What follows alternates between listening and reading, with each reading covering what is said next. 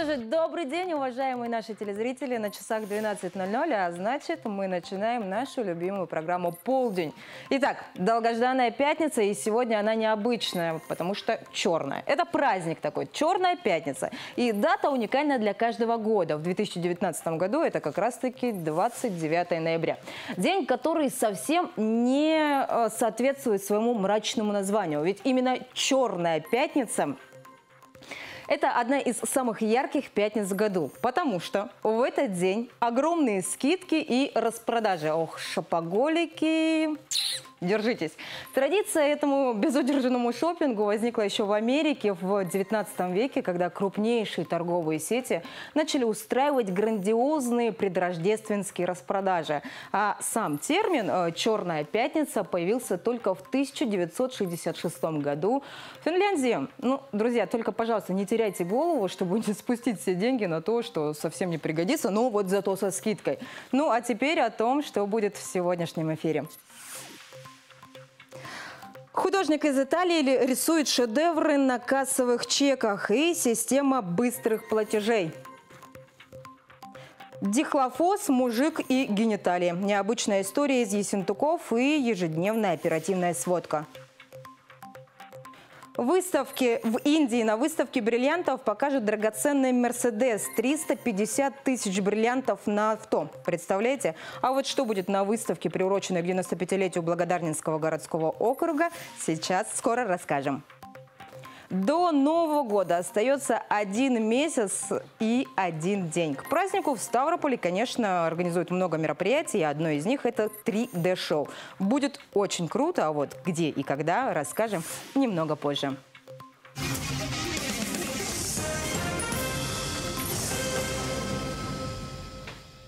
Ну что же, а мы начинаем полдень. 22-летний художник из Италии Майкл Моччо рисует настоящие шедевры на кассовых чеках.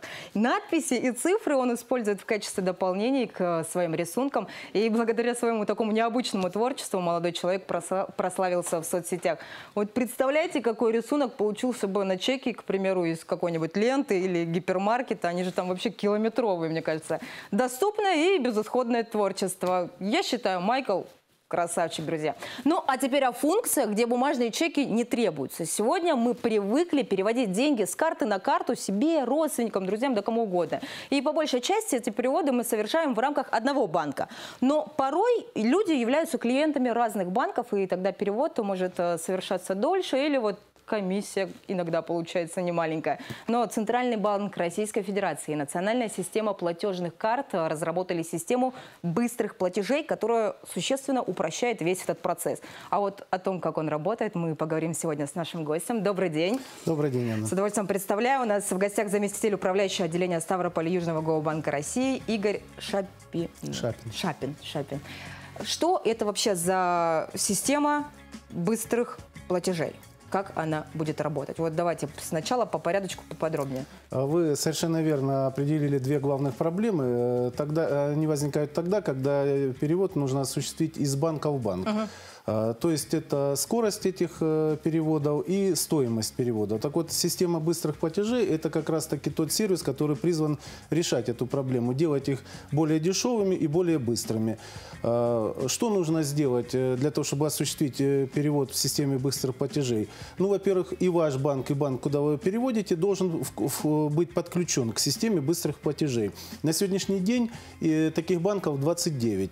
А, к 1 октября 2020 года таких банков существенно э, прибавится, потому что э, все банки, имеющие универсальную лицензию, их на сегодняшний день 273 банка, должны будут подключиться к этому сервису. Угу.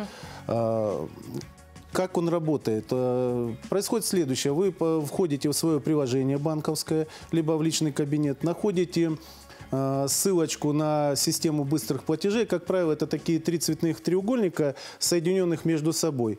Э, вводите номер телефона. Э, тому, кому вы хотите перевести денежные средства, к вам поступает уведомление, вы, которое спрашивает, вы действительно хотите перевести? И, и указывается имя, отчество и первая буква фамилии тому, кому вы планируете перевести. Вы говорите «да», действительно ему. Тогда забиваете сумму платежа, нажимаете кнопку «Оплатить», и буквально через несколько секунд эти денежные средства уже на счете того лица, кому вы их переводили. А вот скажите, пожалуйста, ну, к примеру, вот у меня карта есть Сберовская и ВТБ. И я частенько там с одной карты на, другую перевожу, либо там, ну, сестре перевожу, маме и так далее. А, должно быть какое-то отдельное специальное приложение, либо вот только по смс. Что-то заранее я должна закачивать там, ну, в тот же самый телефон. Нет. И отдельно для компьютера также. А, Банки, которые подключаются к системе быстрых платежей, как правило, в интерфейсы вводят вот то, о чем я говорил, какую-то То есть ссылку они на сами, да, систему быстрых платежей. Там вы находите эту ссылочку, проходите, не, не ссылку, я неверно сказал, а, погружаетесь в эту систему быстрых платежей. Ну, переходим в да, да, и раздел. переходите, и там находите э, поля для ввода номера телефона. И дальше то по тому алгоритму, который я говорил. И вы можете переводить как своим друзьям, близким родственникам, так и себе, как вы правильно сказали. А Раньше вы э, как бы бесплатно, практически всегда бесплатно делали это в рамках э, Одного банка, а да. теперь э, эти платежи возможны и в рамках э, перевода в другие банки, и это будет Все бесплатно, дешевле. комиссии не будет, да? А, На сегодняшний Или день э, по, по поводу комиссии. Значит, на сегодняшний день Центральный банк, как оператор э, системы быстрых платежей, не устанавливает до конца года, не устанавливает вообще никаких комиссий. Для, он их устанавливает для кредитных организаций. Кредитные организации вправе устанавливать, э, устанавливать свои тарифы и комиссии при работе с физическими лицами. Ну, хочу сразу оговориться. Во-первых, э, На сегодняшний день большинство банков не устанавливает таких э, тарифов. Э, Я думаю, что с ростом конкуренции, о той, которой я говорил, когда этих банков будет порядка 300, э, эта практика будет продолжаться. Либо э, определенные банки заявили о том, что они не будут устанавливать комиссию свыше какой-то суммы перевода, э, что тоже делает значительно дешевле эти переводы, нежели они стоят сегодня. Э, Кроме того, Центральный банк со следующего года э, введет тарифы для кредитных организаций, но они будут э, тоже не очень высокими, э, от 5 копеек до 3 рублей за перевод в зависимости Ну, от суммы, меньше, либо да. да, от суммы, либо вида этого платежа. А, Кстати, раз уж мы заговорили о тарифах, я хочу сказать, что для физических лиц, которые будут оплачивать э, свои товары, покупаемые товары и услуги в адрес э, юридических лиц, э, эти э, услуги будут для них бесплатны. Э, То есть торгово-сервисные э, предприятия, которые будут получателями этих средств, они будут платить от 0,4% э, процента годовых до 0,7% годовых. Э, И поэтому для физических лиц, если эти переводы идут в адрес э, торговых организаций, они будут бесплатны. Хорошо, это я поняла, но это вот что касается там приложения конкретно, да, мы заходим в приложение, и там уже вся эта система начинается. Но зачастую, вот знаете, у меня есть такой магазинчик, где там определенные вещи покупаю, вот я захожу в сообщение, ну, в принципе, в, обы- в обычные сообщения, пишу там перевод тому-то, тому-то, столько-то, столько-то. То есть это уже здесь не будет работать, правильно я понимаю? Это обязательно нужно будет зайти в приложение установленное и там уже совершить те операции, про которые вы нам только что рассказали. В сообщениях так нельзя будет сделать? Вы, вы понимаете, тогда, когда вы, э, как вы говорите, в магазинчике расплачиваетесь таким образом, переводя, как я понимаю, физическому лицу, продавцу эти денежные средства, эти операции как минимум вызывают вопросы с точки зрения их законности, как минимум со стороны налоговых органов. То есть вот Э, просто это- это- подставила этот магазин. Это первое. Второе, вы понимаете, когда вы переводите денежные средства э, продавцу, ко- который просит перевести их в адрес физического лица, у вас могут быть два разных банка. Ну, а у вас один, у него другой. И, соответственно, вы будете платить комиссию. Вот, да, у меня когда вы будете тоже. пользоваться э, приложением, которое позволяет войти в систему быстрых платежей, для вас, как э, для покупателя, это будет абсолютно бесплатно. Но и продавец выигрывает от этого. В чем? Как прежде всего э, в стоимости э, вот, банковского обслуживания. Когда речь идет об обычном э, традиционном классическом эквайринге по выпуску банковских карт и их обслуживанию, эта стоимость э, существенно выше, чем тогда, когда он переходит э, на QR-коды. Э, То есть это вот еще одно направление, которое сейчас достаточно активно развивается, когда, расплатиться по э, QR-коду, да, да. когда не, можно расплатиться по QR-коду. Особенно это популярно, вот, допустим, при расплачивании в интернет-магазинах, когда вы, опять же, входите в, с- э, в систему быстрых платежей, сканируете QR-код, Да. И тут же появляется сумма платежа. И при этом Вы просто убеждаетесь в том, что это та сумма, на которую вы рассчитывали, тот товар оплачиваете, э, деньги мгновенно переходят э, на счет продавца, а вам не надо набирать вот эти 16 цифр банковской карты, подтверждать этот Ну, платеж. номер телефона, да, да. да, то есть это тоже определенные удобства, э, то, ради чего создавалась система быстрых платежей, скорость и стоимость. Мгм. А вот э, система, как я поняла, только-только, да, вот начала действовать. Ну, я бы не сказал, что только-только, но она еще достаточно молода, она энергично развивается. Если в начале, э, когда то была только создана, эта система позволяла переводить денежные средства только со счета физического лица на счет физического лица, неважно, внутри банка, либо э, в другой банк, то на сегодняшний день, как я уже вам говорил, э, вы можете расплачиваться и с юридическими лицами, используя эту систему, сохраняя все те же преимущества, скорость, качество, удобство этой системы. Ну, когда как физически юридически. А вы знаете, еще бывает такое, что даже в приложении, когда мы заходим, ну, я не знаю, мне кажется, в этом, в быстром таком доступе тоже такое может произойти. Бывает сбой. Сбой интернета нет, либо еще что-то. Как здесь действовать? Ну, сбои могут, в- к сожалению, они присущи любым системам, и здесь тоже может быть сбой. А вопрос в длительности, в сроках этих сбоев. Я хочу сказать, что система быстрых платежей, она достаточно э, технологична, она э, очень хорошо защищена. И вот еще один из э, вот таких вот мифов, э, которые, наверное, стоит развеять, что используя систему быстрых платежей, можно там определить все счета, открытые в разных банках у клиента, у которому вы переводите и так далее. Э, Я хочу сказать, что за- за- защита здесь идет и со стороны Центрального банка, и со стороны национальной системы платежных карт, и со стороны кредитных организаций. Она не позволяет установить все ваши счета, которые у вас открыты у кредитных организаций. Э, Отправителю платежа будет доступен только э, название кредитной организации, в которой вы хотите, куда бы шел платеж. Если этот пользователь начинает путем подбора пытаться пон- понять, где у вас еще счета, система его просто блокирует, и он больше не может никаких действий осуществлять. Поэтому это достаточно безопасная система быстрых платежей. Скажите, а вы пользуетесь системой быстрых платежей? Э, Да, иногда э, пользуюсь. Э, Иногда потому, что э, вот эта система это не замена банковских карт. То есть не будет такое, таковых, что да. вот система появилась, все, забудьте про карты, к примеру. Нет, это Да. как, как дополнение. Это как дополнение, как, альтер- как альтер- альтернатива, которая позволяет вам самим выбирать, что вам в настоящем моменте выгоднее, лучше, удобнее и так далее. Более того, она достаточно будет, наверное, востребована жителями удаленных районов э, и населенных пунктов, где финансовые услуги представлены, ну, так скажем, не в том бы объеме, который нам хотелось. И поэтому вот использование этих QR-кодов, э, вот э, вообще возможности перевести быстро денежные средства, либо наоборот получить и расплатиться этими денежными средствами, она повышает достаточно серьезно финансовую доступность для удаленных районов наших. Ну что ж, спасибо вам большое действительно за полезную информацию. Я думаю, ну, уважаемые наши телезрители, система быстрых платежей пригодится многим на самом деле. Пускай не всем, да, кто-то, может, вообще карточками не пользуется и так далее. Но очень-очень многим. Еще раз напомню, у нас э, в студии Игорь Шапин, э, заместитель управляющего отделения Ставрополя Южного Гоубанка. Вам хорошего дня. Спасибо, большое. взаимно. Всего, доброго. Спасибо. Ну что же, друзья, мы продолжим. Вот что за история произошла в Ессентуках? В общем, сейчас я вам все расскажу. Одной женщине позвонила мама, которая сидела в это время, нах- находилась в это время дома вместе со своей внучкой и сообщила, что в квартиру ломится какой-то подозрительный мужчина. Девушка, естественно, сразу приехала домой к маме, и когда вышла из машины, мужик, вот этот самый мужик, бросился на нее, и она ему брызгнула в лицо дихлофосом. Мне интересно, на самом деле, она специально вот на эту операцию дихлофос с собой брала, но это еще не все, история еще не закончилась. Во время всего этого, когда мужчина этот нападал, а девушка брызгала ему дихлофосом, он снял штаны и показал ей, извините, свои гениталии. Дихлофос, мужчина, гениталии, вообще что творится в этом мире, друзья. Очень-очень своеобразная история. Ну а о других происшествиях в Ставропольском крае расскажут уже наши коллеги в погонах. Добрый день. За прошедшие сутки полиция региона зарегистрировала более 1300 сообщений о преступлениях и происшествиях.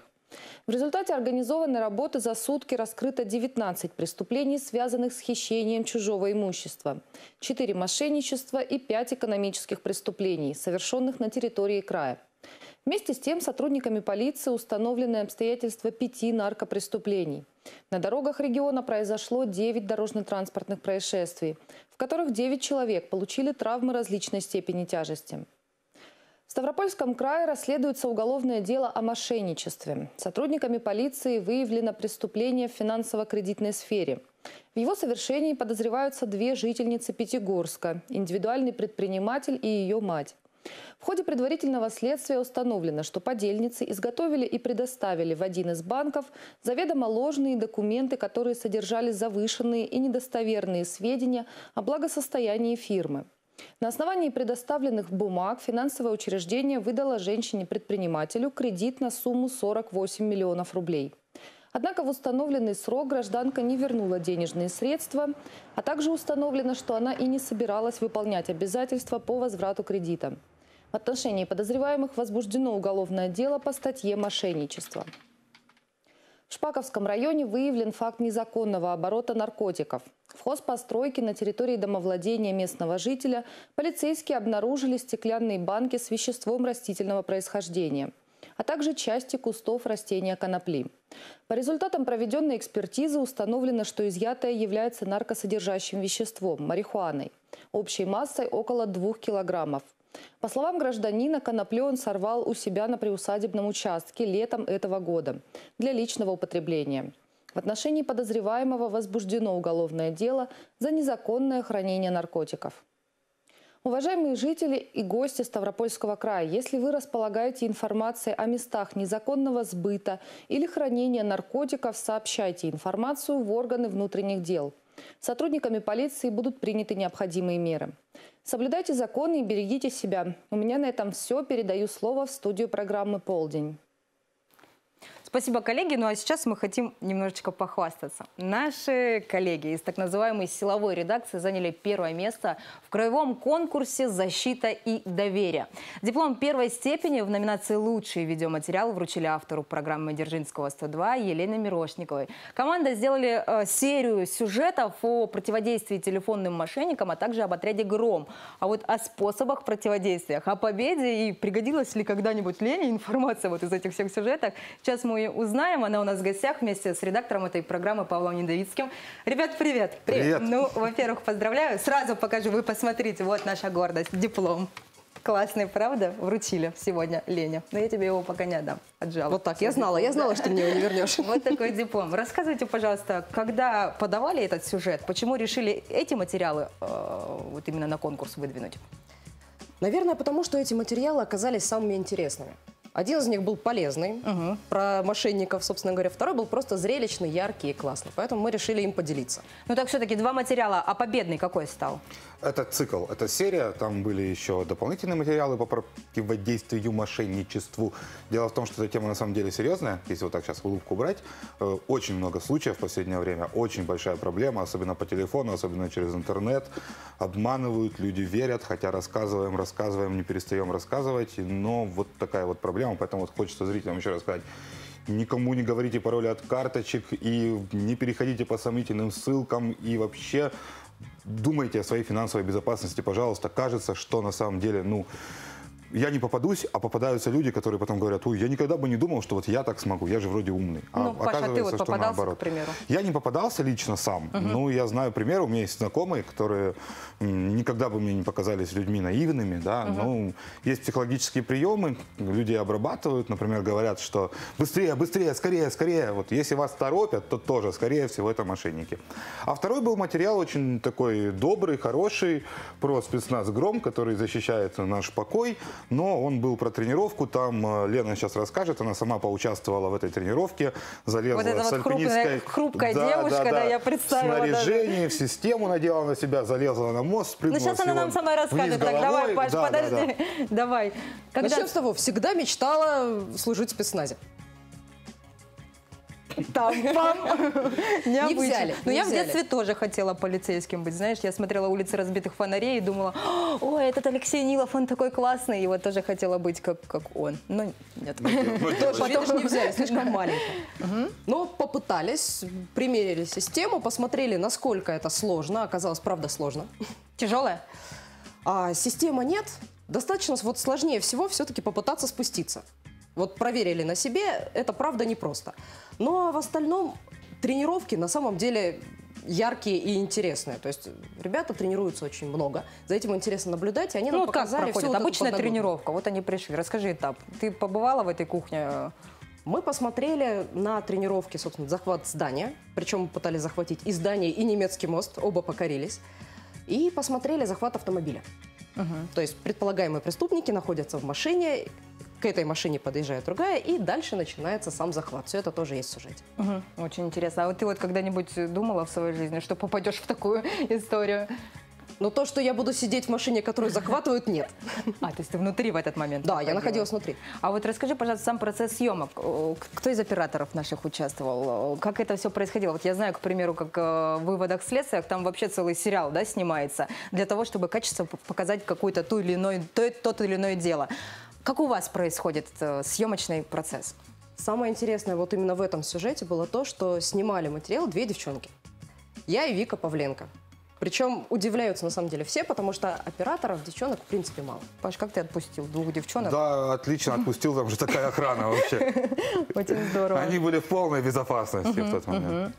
Ну, а- а были вот какие-то постановочные, к примеру, кадры? Вот, либо вот все, вот захват машина, вот машина, сейчас они побегут туда, и, и, и все произойдет. Мы не просили ничего делать специально, то есть мы просто следовали за ребятами, смотрели, что делают они.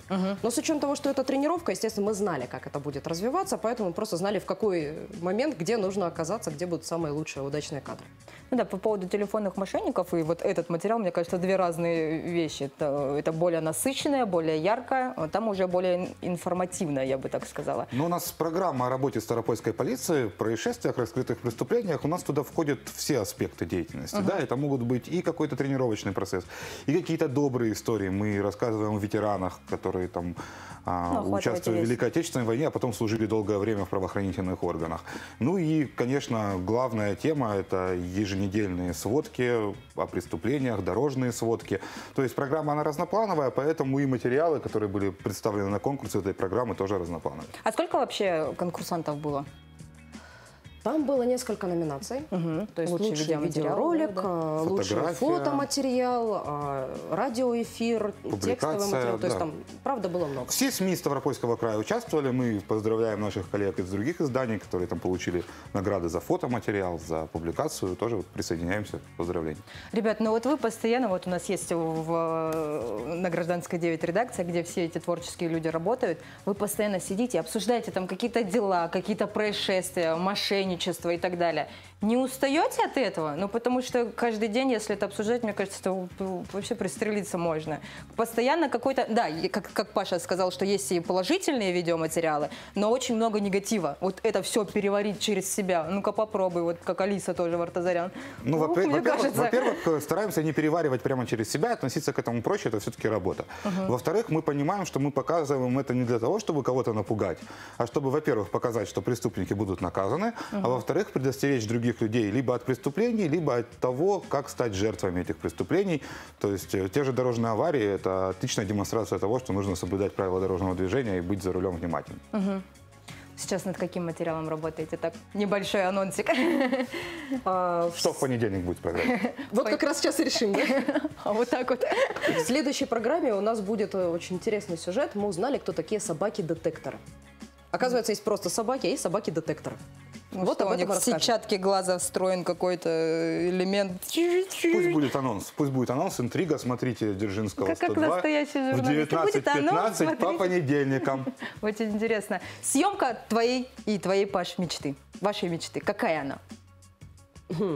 Очень сложный Материал вопрос. мечты, съемка мечты. Вот, вот что бы хотелось, вот я бы хотела там взять интервью у Владимира Владимировича Путина, к примеру, там, либо вот что, что такое самое, к чему ты стремишься? И ты, Паш. Наверное, Давай. да. Может быть, интервью, но у кого, я даже не задумывалась, серьезно. Потому что каждый раз, когда ты с кем-то общаешься в кадре, ты к этому человеку относишься как к самому главному, самому особенному. Поэтому, естественно, любой человек, с которым ты общаешься, будет самым важным. А потом посмотрим, может быть, из этого получится как раз сюжет мечты. Ну, если честно ответить, то, наверное, это все-таки будет не криминальная тема, а что-то из разряда новых культур, новых путешествий, новых стран, то, с чем раньше не сталкивался. Потому что а, в телевидении на самом деле очень многое повторяется из года в год. Аня знает это прекрасно. Вот. И всегда интересно то, с чем раньше не встречался. Новые места, новые люди, новые культуры, новые открытия, новые какие-то вещи.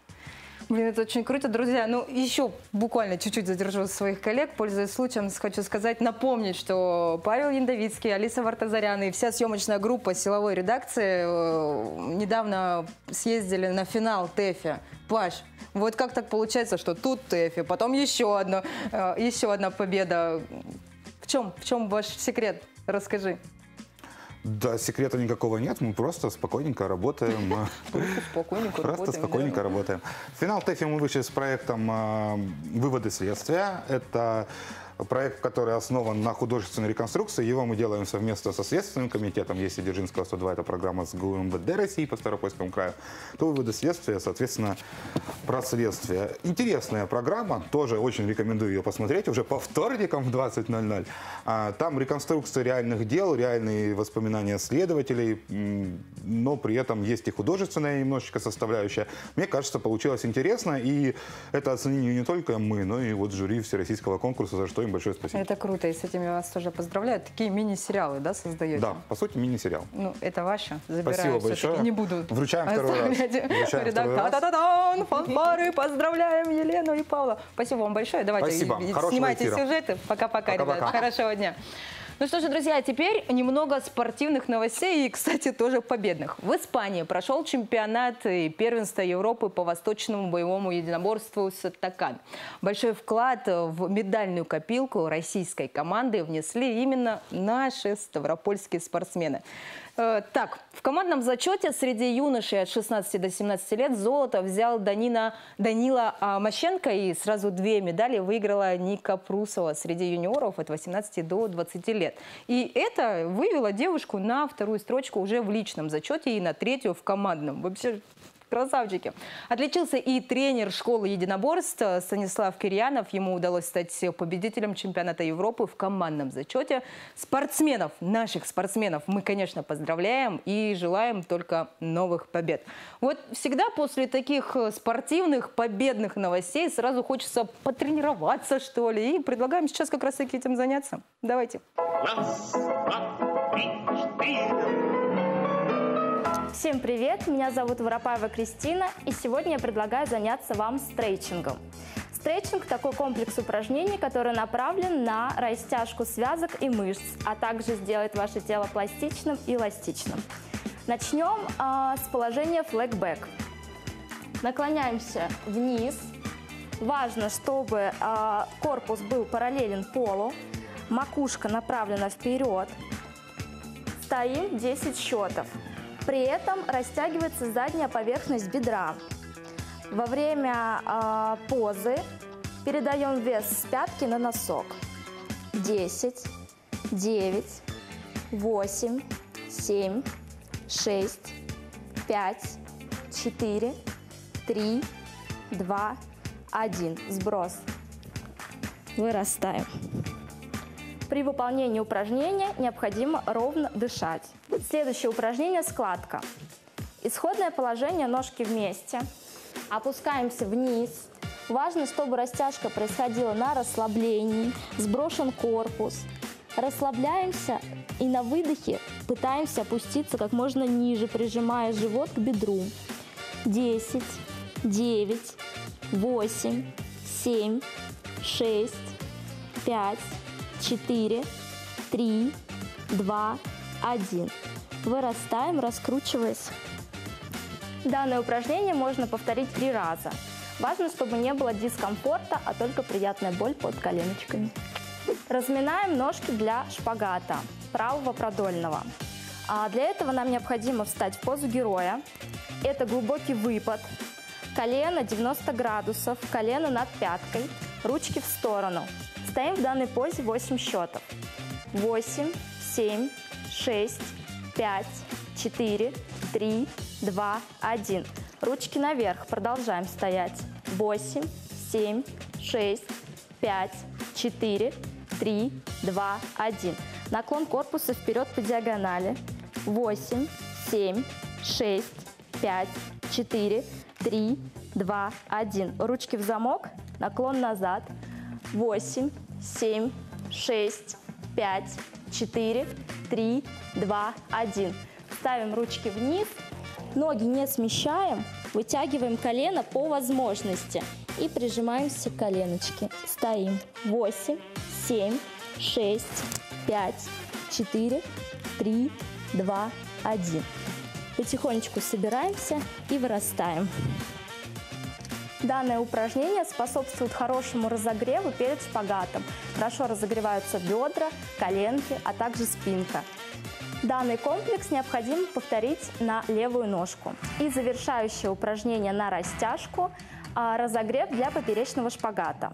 Для этого нам необходимо встать в широкую вторую позицию, приседаем. Опять же, коленки составляют 90 градусов, колено над пяткой. Ноги выворотны, разогреваем паховые мышцы. Локтями можно толкать коленки за себя, чтобы получить еще больше эффект от разогрева. Сидим 10, 9, 8, 7, 6, 5, 4, 3, 2, 1. Переносим вес с одной ножки на другую. 10, 9, 8, 7, 6, 5, 4, 3, 2, 1. Отрываем полупальчик правой ножки. Прижимаем. Левая ножка. Прижимаем. Еще правая. Левая. И еще разочек. Правая. Левая. Ставим ручки вниз. Вытягиваем коленочки. Расслабляемся и вырастаем. Ножки можно собрать. Итак, мы проделали комплекс упражнений, который способствует разогреву мышц ног. А данный комплекс поможет вам постепенно сесть на шпагат. Растяжка должна быть легкая, без дискомфорта и приятная. Растяжка не должна омрачать ваше утро. Всем приятного дня. Целую в брови. Раз, два, три, четыре. Ходьбу как. Ну а мы тогда, девчонки, целуем вас в нос, раз вы на зуброве. Ну что ж, спасибо вам большое за, за, за отличную зарядку. А теперь немного о необычных выставках. В Индии Мерседес представили э, ю- в ювелирном изделии. На машину прикрепили 350 тысяч бриллиантов. Драгоценное авто должно засиять на выставке бриллиантов э, в Индии, в Лондоне, на второй выставке, на новой выставке, простите, расскажет о 130-летней истории мировой автопромышленности. Вот каким был первый серийный автомобиль и каким станет транспорт нашего с вами будущего. А вот в Благодарном проведут экскурсию по выставке, приуроченной к 95-летию городского округа. В экспозиции представлены и документы, и фотографии из фонда Государственного архива. А вот что самое ценное, какие экспонаты самые ценные, расскажет уже наш гость. Это Екатерина Захарчук, начальник отдела организационно-методического руководства и контроля в сферах архивного дела Комитета Ставропольского края по делам архивов. Добрый Да, день. здравствуйте, Я вот представляю. Ну, скажите, пожалуйста, вашу должность, и вы вот начинаете вот это вот перечислять. Надо как-то по- покомпактнее. Ну, никуда не Да. денешься. Итак, поехали. Что за выставка такая? Что в нее наполнено? И вот, на ваш взгляд, самое ценное? Самое ценное. Ну, хотелось бы, конечно, все-таки отметить, что а, выставочная деятельность – это одна из основных деятельностей, которые реализуется как а, архивными учреждениями Ставропольского края, так и Государственным архивом Ставропольского края. То есть это не первый наш опыт э, про- проведения выставок именно а, в муниципальных образованиях, в городских округах. А, Периодически наши учреждения устраивают такие мероприятия, которые приурочены или к Дню э, города, или, например, а, к памятным датам именно их э, региона. Это передвижная выставка именно Благодарного района. Она подготовлена к 95-летию. а, И поэтому она, у них проходит именно не только а, в здании администрации или в здании архивного учреждения, но она у них еще и передвижная, то есть мобильная. Ну, Это удобно. позволяет, Например, да, музей да, стоит на месте, только ты туда ходишь. А тут куда приезжаете? В школу? в да, школу наверное, обязательно, да? конечно. Это на данный момент сейчас э, очень интересно и очень нравится, потому что школьники могут окунуться именно э, в момент изучения документов непосредственно уже. э, Они будут перед их глазами, чтобы не читать учебники, увидеть их. Это очень интересно. У нас, а, ну, допустим, например, именно администрация города Ставрополя в архивном отделе также проводят а, не только передвижные выставки, но еще и проводят квест-занятия для детей. Сейчас это очень модно, очень эта интересно. стоит, к примеру, а выставка рядом- стоит, да. детки сначала изучают материалы этой выставки, документы, архивные документы, которые являются у нас бесценным источником. А потом уже по полученным а потом знаниям, по да. полученным знаниям уже они проходят квест-занятия. Очень нравится детям сейчас это. У нас э, пользуется очень широким, скажем так, спросом, окликом у граждан. Поэтому постоянно А развиваемся вот, в этом вот не направлении. страшно вот документы такие ценные вывозить? Мне кажется, ну вот все, А, все эти предметы. Это все равно, тем более в школу занести. Да там же... Ну, там же представлены копии архивных документов для школы, то есть экспозиция выставки совершенно Мгм. Одинаковая с той, которая Мгм. представлена в архивном отделе, Мгм. а, но копии архивных документов э, перевозятся на выставочном оборудовании мобильном и экспонируются. А только в школу, либо еще куда-то? Нет, э, не только в школы, очень э, много выставок, которые проводили архивные учреждения, именно выездных. Например, э, на День города были у нас э, передвижные выставки на площади. Мгм. То есть это школы, учебные заведения, площади как районов, так и э, непосредственно в городе Ставрополе. Ну вот конкретно эта выставка, приуроченная к 130-летию, сейчас где находится? И там, к примеру, следующий пункт, где она будет? А, но эти выставки у них непосредственно будут то- 95-летию благодарности. 130-летию, да. А это, эти непосредственно выставки, они будут, э, в принципе, располагаться э, по э, школам, по Мгм. учреждениям Мгм. направляться.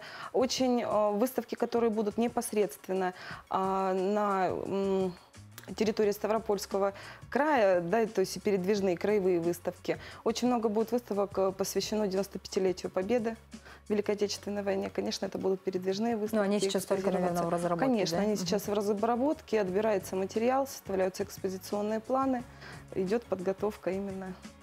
Вот знаете, мне кажется, ну, сегодня, на, на сегодняшний день э, в музее э, вот, подрастающее да, поколение в основном ходят вот так вот классный руководитель. Так, все в музей. Оп, пошли в музей. Ну, ходят, конечно, кто там Мгм. вот сами в выходной день. Мам, пойдем сегодня в музей, пошли. Но в основном это вот как, как какой-то организационный класс, поход классом. Да. добровольно. Ну, Вот, не- да, не особо, не очень добровольно, да, и там ходишь, вот так там рассматривают какие-то экспонаты и думаешь о том, как, когда же уйти.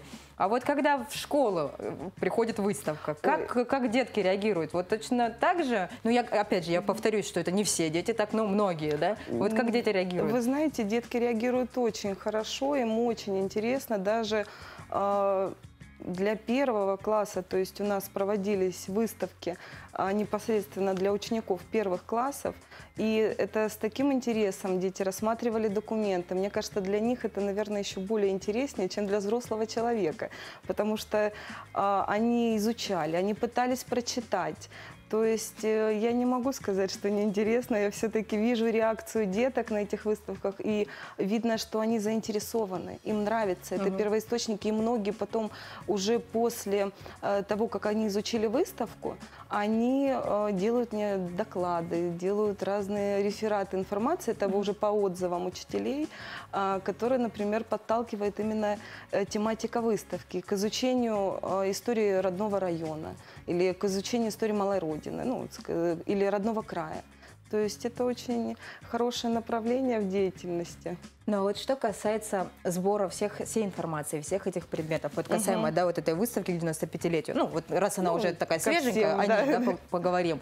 А как собирается? Это, ну, как архивы, да, государственные, понятное А в дело. подготовке, да, в подготовке выставок у нас участвуют как государственные, так и муниципальные архивы.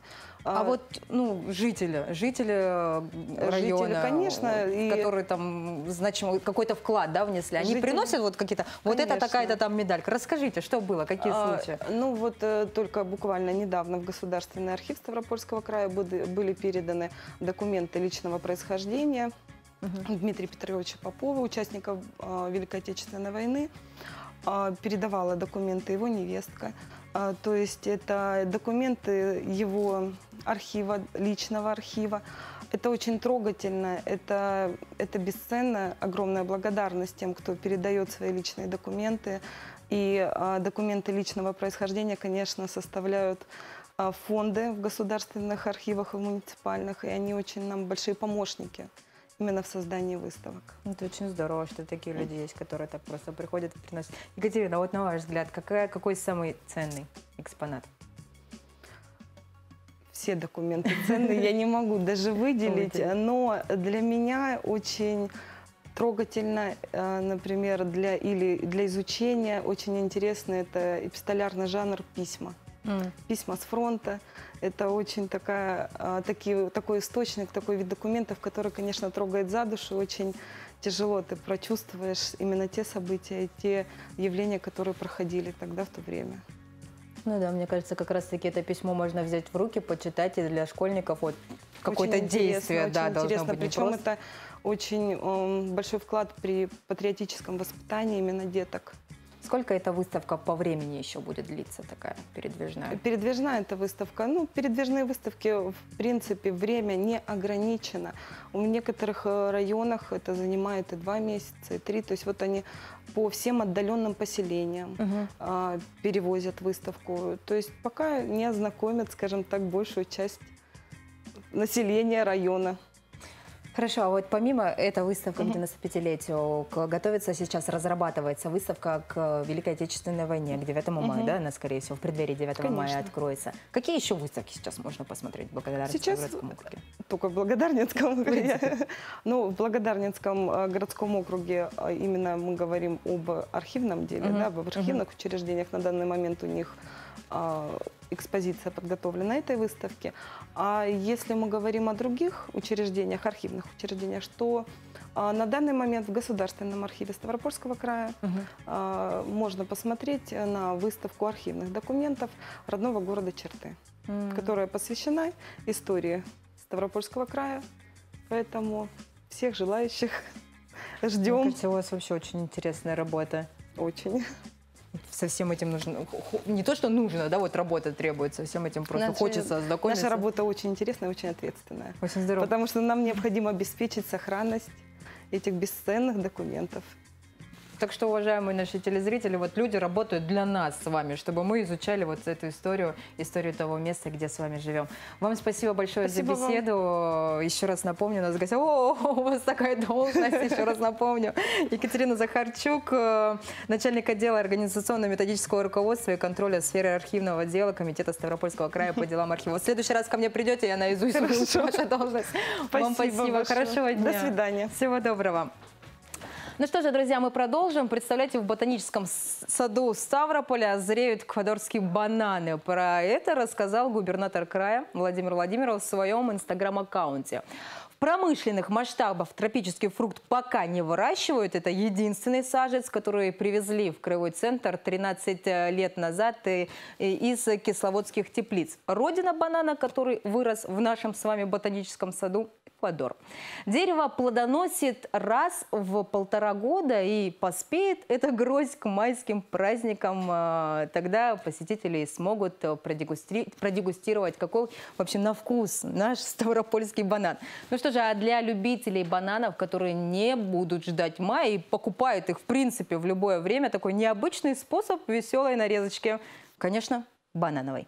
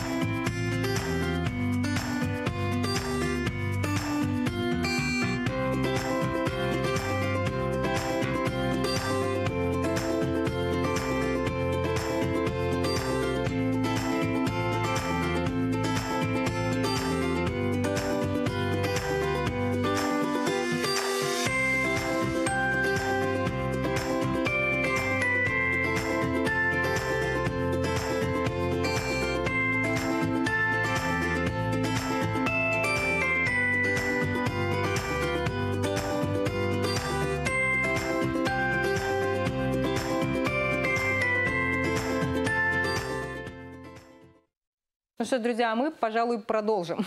А вы знали, что 12,5% всех мужчин левши. Тогда как женщин всего только 10%.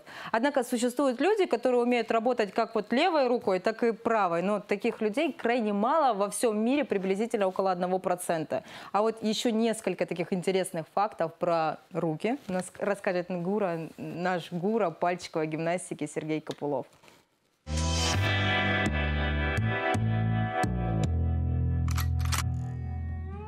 Привет! Задумывались ли вы, почему у нас на руках и ногах по 5 пальцев, а не, допустим, по 3, 4 или, быть может, вообще по 6 пальцев? Ответ на этот вопрос поможет нам дать история эволюции. Пять пальцев было обезьян, от которых мы произошли. А те, в свою очередь, унаследовали пятипалую конечность у своих предков. И так далее, далее, далее, вплоть до древних амфибий, живших более 300 миллионов лет назад. Вдумайтесь, 300 миллионов лет. Как же это много. Ну и что же там такого произошло, спросите вы, раз я так заострил внимание на этой дате? Дело в том, что тогда на Земле обитали амфибии с разным количеством пальцев. Палеонтологи раскопали скелет ихтиостеги, у которой было по 7 пальцев, акантостеги, у которой было по 8 пальцев на конечностях, я думаю, количественное разнообразие пальцев у амфибий того периода на этом далеко не заканчивалось. Откуда же взялось это разнообразие? В Девонском периоде, 385 миллионов лет назад, рыбы, или назовем их водными обитателями, начали массово покорять Землю. А зачем и почему? Ну, во-первых, на Земле сформировался теплый и влажный климат – во-вторых, появилась достаточная пищевая база, множество различных растений и насекомых. В-третьих, из-за этих растений и насекомых в воду вымывалось большое количество органики, в результате окисления которой содержание кислорода в воде уменьшалось. И это способствовало появлению рыб, приспособлений для дыхания атмосферным воздухом. А также шло время. Множество водоемов усыхало. И рыбам приходилось ползком на брюшках, отталкиваясь своими плавниками от земли, добираться до соседних водоемов, чтобы спасти себе жизнь. И так происходило не один раз. И как следствие этого всего, определенный вид рыб, кистеперых рыб, постепенно превратился в амфибию, у которой уже были сформированы конечности и которая свободно дышала атмосферным воздухом. И вот тут-то началось массовое покорение Земли амфибиями которые находили на ней свой новый дом. Мы так плавно отошли от нашего вопроса, как и подошли к нему. Конечности. Они сформировались из плавников рыб. Пальцы из лучевых косточек в этих плавниках. А количество этих косточек было разным. Соответственно, и количество пальцев было разное. Этим объясняется количественное разнообразие пальцев у амфибий того периода. Но случилось так, что именно пятипалая форма дала начало всему разнообразию современных позвоночных. А животные с другим количеством пальцев вымерли. Но вымерли не потому, что у них было какое-то неудачное количество пальцев, а по каким-то другим причинам. Большинство ученых склоняется к тому, что это была чистая случайность. Возможно, пятипалая форма оказалась в нужном месте в нужное время. Получается, что пятипалая конечность стала примитивным, исходным строением конечности для всех наземных позвоночных. Конечно, не всем животным была удобна такая конечность, и у них произошло уменьшение количества пальцев, а у некоторых даже полная утрата. Например, у предков лошадей на среднем пальце развилось копыто. Этот палец сильно увеличился, а остальные пальцы только мешали его росту. У змеи раньше были конечности. Не знали? Тому есть доказательства. У питона сохранились рудименты таза и задних конечностей, которые немножечко торчат из-под кожи, напоминают два таких когтя. А давайте представим, что повезло, допустим, не пятипалым амфибиям, а шестипалым. Тогда бы у нас у всех сейчас было по 6 пальцев. Как бы вы назвали тогда такой шестой палец? Система счисления была бы другой. У нас сейчас десятиричная, потому что 10 пальцев, а была бы 12-ричная.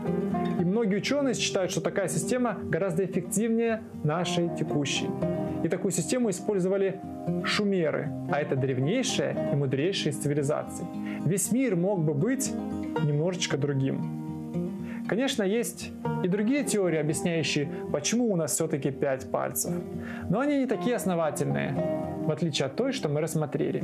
Какие-то ученые ссылаются на формулы, при помощи которых можно определить оптимальное количество конечностей. Кто-то считает, что мы унаследовали такую конечность у инопланетных существ. Ну и все далее в таком духе. А вот ряд неврологов считают, что у нас слишком много пальцев. Они объясняют это тем, что в современных разработках роботизированные руки имеют по 2, 3, 4 пальца, и этого количества им вполне хватает для необходимых манипуляций. Но лично мое мнение, 5 пальцев – это дар. Возможно, подаренный нам случайностью. Быть может, эволюционной оптимальностью, ну или внеземными цивилизациями. Но это не важно. Главное, это дар мы должны ценить и развивать. На сегодня у меня все. Надеюсь, вам было интересно. До новых встреч, друзья!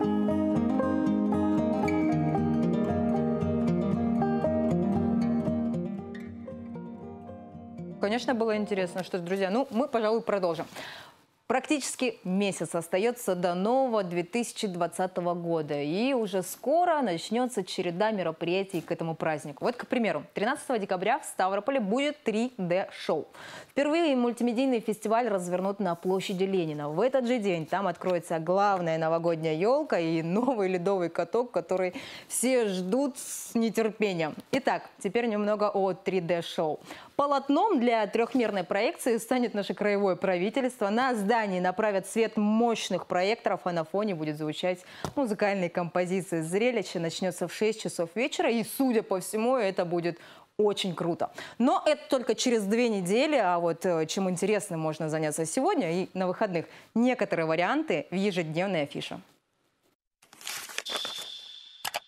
Ставропольский театр драмы предлагает зрителям яркий, красивый спектакль, где царит любовь в постановке народной артистки России Натальи Зубковой. Легкий, нежный, с озорством и юмором, интригами и розыгрышами, наполненный прекрасной музыкой и танцами, спектакль создает удивительную праздничную атмосферу. Начало «Валенсианской вдовы» в 18.30. Джузеппе Верди – выдающийся итальянский композитор, художник-новатор, знаменующий расцвет мирового оперного искусства. Композитор мечтал написать оперу не на зрелищный сюжет, а нечто основанное на чувстве. Им создано более 20 опер. Огромную популярность завоевали оперы «Риголетто», «Трубадур» и «Травиатта», знаменитое трехзвездие Джузеппе Верди. Никогда прежде музыка Верди не была так эмоциональна и выразительна, а вокальные партии так драматически гибки. Как построить систему найма и адаптации персонала для франчайзи? Как создать франшизу и сделать ее самой крупной в России в своей нише? На эти и другие вопросы в субботу в Ставрополе ответят бизнес-тренеры Захар Якунин и Александр Рагулин. Музыканты духового оркестра имени Осиновского уже долгие годы организуют танцевальные вечера в парках нашего города. Теперь каждую субботу до наступления теплых солнечных дней встречи с оркестром будут проходить в самом уютном и атмосферном пространстве нашего города – в лофте. Оркестр будет играть мелодии мировой музыкальной культуры, легендарные произведения из отечественного золотого фонда и легкие танцевальные композиции. Начало ретро-вечеринки в 17.00. Ну что ж, друзья, мне остается рассказать, что сегодня вечером будет и на выходных будет у нас на своем ТВ.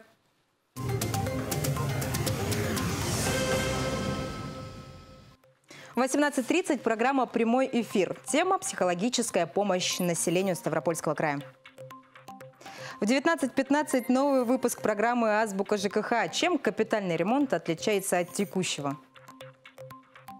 В 19.30 наши новости. Козий сыр, новое здание судебных участков мировых судей, развитие Бахчи Пономаревых. Об этом и многом другом в новостях на своем. В 20.00 новый выпуск программы «Время дела». А что, если машина времени существует? Фантастика, подумайте вы. А вот Маша с Ромой так не думают.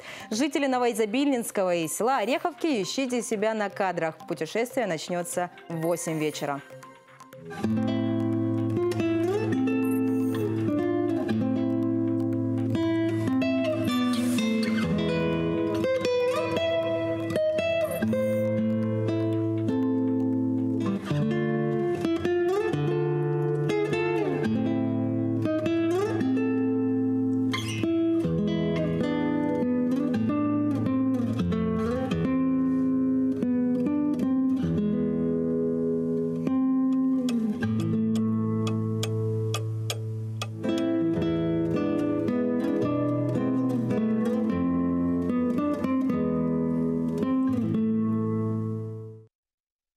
Что же, идем далее в 20.00. Художественный фильм «Любовь и слава».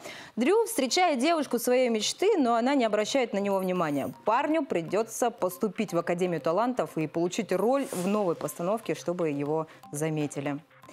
В субботу в 20.00 первая серия телесериала «Без права на второй шанс». Врач находит у себя дома убитого мужа, а ее дочь-младенец похищена. И, столкнувшись с неумелой полицией, она начинает свою собственную охоту за своим ребенком и преступниками.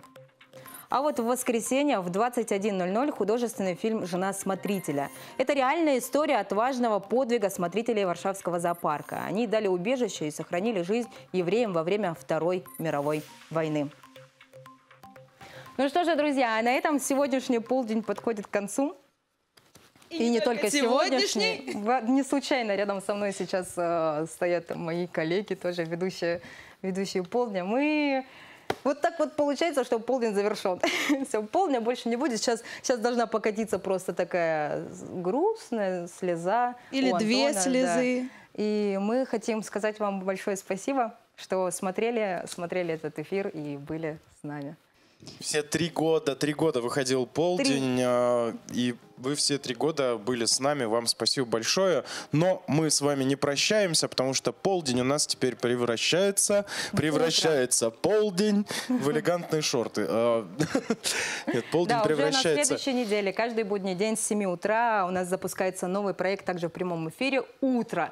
На так своем. что просыпаться, утро на своем, просыпаться, завтракать, э, идти на работу, вы будете вместе с нами. Ну, мы бы хотели, чтобы вы были вместе с нами, так так что ждем наших сонных телезрителей уже э, в следующий понедельник в 7 часов утра. Ну и напоследок хотелось бы сказать вам, друзья мои, спасибо большое.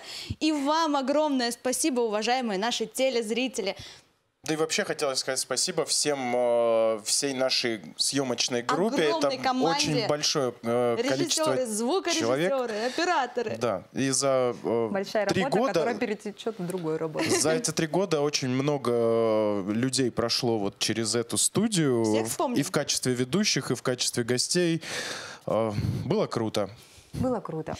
Ну, а на этом сегодняшний полдень подходит к концу. Мы с вами увидимся, но уже не в полдень. Пока!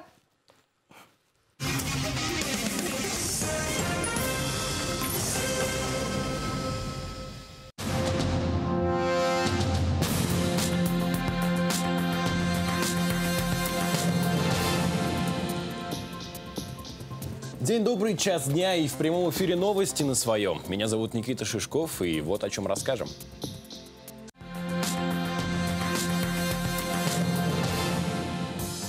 Запретный гербарий житель Шпаковского района хранил в подвале 2 килограмма наркотиков. Как нашли тайник?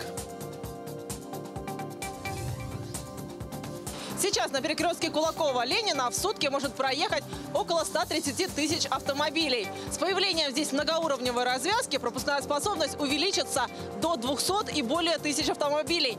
Как будет выглядеть эта развязка, узнавала Ирина Ивановская.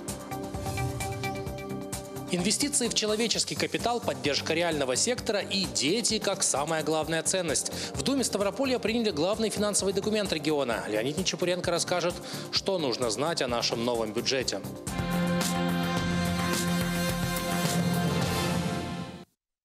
Что ж, начинаем выпуск с теплой новости. Эти выходные обещают порадовать ставропольцев погодой. В край вновь вернется плюсовая температура. Она, в общем, это уже и сделала. Но днем и ночью, возможно, небольшие дожди. Синоптики прогнозируют максимальное повышение температуры по региону до 13 градусов тепла. В краевом центре до плюс 11. Сильного ветра не должно быть. Ну а подробнее о погоде мы расскажем в конце выпуска. Теперь о происшествиях. Женщина приехала на Ставрополье из северного региона, а двоих детей оставила там жить со свекровью.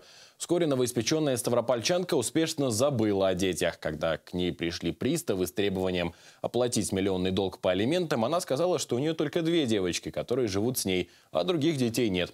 В ходе беседы память, правда, все-таки вернулась горе мамаши, но платить она все равно отказалась. Ей назначили 50 часов обязательных работ. Если совесть не вернется, возбудят уже уголовное дело. О других происшествиях расскажем в оперативной сводке.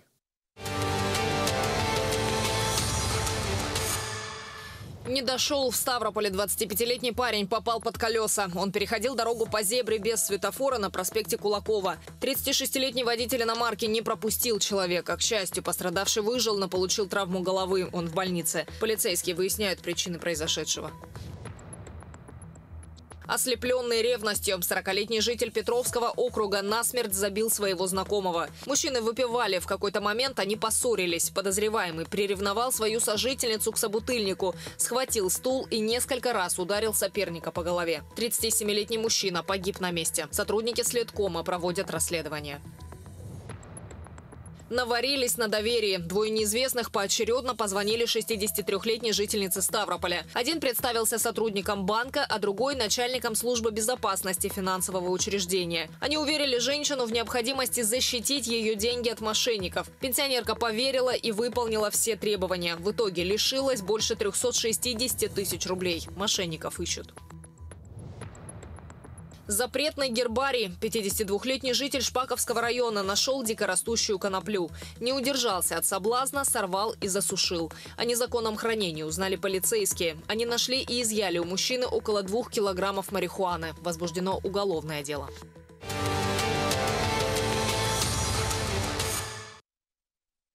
Ну а теперь хорошая новость для всех, кто в час пик хоть раз стоял в пробке на перекрестке Кулакова-Ленина в Ставрополе. Проехать там вечером часов в 6-7, ох, как непросто. Изменить и ускорить движение в крупном транспортном узле города поможет развязка, без светофоров и на нескольких уровнях. Когда построят и как будет выглядеть сооружение, узнавала Ирина Ивановская. Перекресток Кулакова-Ленина. Каждые 2-3 минуты по нему проезжают около сотни машин. Разгрузить все четыре направления здесь позволит новая развязка. Предпроектной подготовкой этой масштабной конструкции по поручению губернатора уже занимается Краевой Миндор и администрация Ставрополя.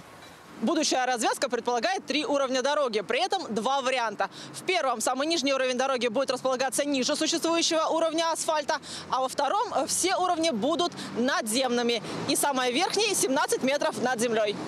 Потоки транспорта на развязке пересекаться не будут. Не останется места для встречи машин с пешеходами. Исчезнут светофоры. Зато дороги станут многоуровневыми, появится круговое движение и дополнительные полосы для съезда. Инженеры-геологи уже исследовали будущую стройплощадку. А то, как может выглядеть транспортное сооружение, видно на эскизах. Это, на Это верхняя точка, которая будет максимально на уровне 10 метров от уровня земли. А это часть, которая опустится от 3 до 3,5 э, метров ниже уровня земли. Препятствием для такого эстакадно-тоннельного типа развязки могут стать коммунальные сети под участком – газ, вода, электричество, канализация. Если не получится вынести их из зоны стройки, придется использовать второй вариант – только надземные уровни и обустроить для труб обслуживаемый тоннель. На месте стройки есть еще одна задача. Именно в существующих размерах посадить развязку и уже произвести работы по существующим размерам. Естественно, если их не хватит, то часть территории, которая сегодня еще позволяет, она тогда уже будет задействована. Старт работ зависит от готовности проекта и смет, получения разрешений и заключений. Минтранс России поддержал предложение губернатора о строительстве данной развязки и готов софинансировать из федерального бюджета данные работы. Ориентировочная стоимость на сегодняшний день определяется от 3,5 до 4 миллиардов рублей. На сами работы потребуется от года до двух лет. Закончить быстрее по опыту путепровода в Невиномыске можно. Подгонять строителей будет транспортная и людская напряженность. А если долго будут строить? Плохо. Что еще сказать? Ну, в принципе, подождем, наверное. Думаю, стоит потерпеть. Ну, вопрос опять сколько? Год-два. Не, ну не настолько, желательно побыстрее. Большая стройка на оживленном перекрестке потребует объездов. Окончательные пути еще прорабатываются. При этом часть полос постараются оставить для движения. Часть улиц нам придется сегодня расширить существующих для того, чтобы сделать пути объезда. По некоторым улицам организовать э, одностороннее движение. В том числе сегодня, которые улицы мало задействованы для движения транспорта, их необходимо привести в нормативное состояние, чтобы по нему пустить основной транспортный поток. Эскизы будущей транспортной развязки изучали Ирина Ивановская и Иван Шаталов, Ставропольское телевидение. Идем дальше. Поддержит медицину, образование и сельское хозяйство. Но главные расходы на детей. В Доме Ставрополья утвердили краевой бюджет. Теперь мы точно знаем, сколько регион будет зарабатывать и на что тратить в 2020 году. Если вкратце, то доходы выросли, госдолг сократился, а сам документ стал более социальным – Подробнее о главных цифрах и о других решениях депутатов в сюжете Леонида Нечапуренко. Учесть каждую копейку, оперируя миллиардами. Эту непростую задачу выполняли в правительстве и Думе края, работая над бюджетом. Получился не только самый социальный, но и самый экономически перспективный документ за последние годы. Госдолг значительно снизился, а доходная часть выросла до 123 миллиардов рублей. Есть два показателя. Один – это стабильность, а второй – это развитие. То есть я четко могу сказать, что сегодня утвержденный бюджет Ставропольского края – это стабильный бюджет развития нашего региона. Это, наверное, очень важно. 120 миллиардов – это очень хорошая цифра для начала года, 123 миллиарда, чтобы изменить во многом к лучшему многие вопросы. Главная статья расходов – социальная. 67% всего объема. 17 миллиардов рублей направят на выполнение нацпроектов. Они разбиты на 36 региональных программ. Власти посчитали, что самыми эффективными будут инвестиции именно в человеческий капитал. И в первую очередь в детей. На это нацелена в том числе губернаторская программа «Дети». Она как раз стартует в 2020 году. Ставропольском крае все как в традиционной семье. Главные расходы на детей. На поддержку семей, где есть малыши, направят почти 9 миллиардов рублей. Детям должно быть удобно жить. В пять раз больше денег выделят на покупку жилья для молодых семей. Примерно миллиард. Дети должны быть умными и образованными, поэтому школы отремонтируют, новейшим оборудованием оснастят кабинеты физики, химии и биологии. Это еще почти миллиард. Дети должны быть здоровыми. Расходы на медицину в этом году беспрецедентные. Только на первичное звено 4,5 миллиарда. Я очень долго работаю вот, в здравоохранении и так далее. Я не видела, чтобы столько денег вливалось в здравоохранение. Я вам хочу сказать, наш губернатор, э, я всегда говорила губернаторам, с которыми работала раньше, полюбите здравоохранение, оно вам ответит своей любовью. Вот нашелся губернатор, вернее, пришел губернатор, который полюбил здравоохранение, действительно недавно встречался с главными врачами. Конкретные задачи стоят по каждому, не только первичному звену, как вы видите, по краевым лечебным учреждениям. Для многодетных семей вдвое увеличили детские пособия. Теперь они больше 700 рублей в месяц. Важная статья расходов – поддержка реального сектора экономики. Она нужна, чтобы и дальше развивать бизнес и производство. Налоговые преференции, субсидии предпринимателям, софинансирование инвестпроектов. Все это обойдется более чем в 7 миллиардов рублей. Примерно половина этой суммы пойдет на укрепление аграрного сектора. Безусловно, предусмотрены средства на а, проведение празднования и подготовку к 75-летию победы в Великой Отечественной войне. Только на ремонт и восстановление памятников и воинских захоронений предусматривается более 193 миллионов рублей. Из других итогов заседания теперь полностью сформирован состав краевого правительства. По регламенту кандидатуры первых зампредов должен согласовать парламент региона. Депутаты единогласно поддержали предложение губернатора и утвердили в качестве его первых замов Николая Великданя и Ивана Ковалева. Леонид Мичепуренко, Иван Шаталов, Ставропольское телевидение. Что ж, на этом все. А если у вас есть новости или проблемы, о которых хотите поделиться, пишите нам в WhatsApp и Telegram вот по этому номеру. Попытаемся разобраться. Ну а далее у нас прогноз погоды. Об этом знает все Яна Лукошкина. Она уже готова рассказать и вам. Ну а я с вами прощаюсь. Меня зовут Никита Шишков. До встречи.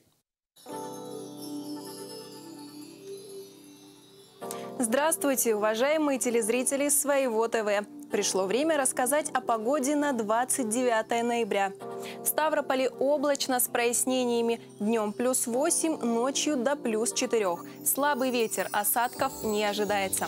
В Изобильнинском и Новоалександровском городских округах утром дождь. Днем температура прогреется до плюс 11, вечером плюс 6. А вот регион Кавказских минеральных вод дожди покинули, по крайней мере пока. В Пятигорске, Кисловодске и минеральных водах Днем плюс 7, ночью до плюс 4, без осадков. Переходим к восточной территории Ставропольского края. В Арзгире, Нефтекумске, Дивном и Патово пасмурно. Плюс 9 днем, плюс 7 ночью без осадков. В Буденовске плюс 10 днем, ночью 8 градусов выше нуля. И, к сожалению или к радости, дождь. А теперь о событиях, происходящих далеко за пределами Ставрополья. Финский ученый записал песню, которую исполняет наша планета. Люсиль Турк, занимающийся исследованием Земли, смоделировал гул, который издает наша планета в процессе взаимодействия с солнечным ветром. Как известно, звуки не распространяются в условиях вакуума, поэтому в космическом пространстве невозможно ничего услышать. Но можно конвентировать то, как, как проявляет себя магнитное поле Земли в звук. Тогда выяснится, что наша планета издает довольно серьезный шум. Вы только послушайте.